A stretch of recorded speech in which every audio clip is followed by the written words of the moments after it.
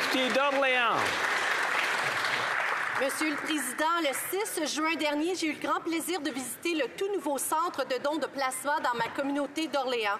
The state-of-the-art donation center is located at Place d'Orleans Shopping Center. Donated plasma can be given to those in need of plasma transfusion or to create plasma protein products such as immunoglobulins, which can be used to help Canadians in need. Currently, there's an increased need to for plasma as more and more conditions are being treated with immunoglobulins.